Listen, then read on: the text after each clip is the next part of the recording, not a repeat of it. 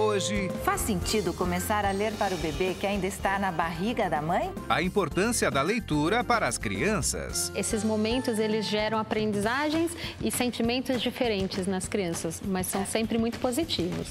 Hoje, Momento Papo de Mãe.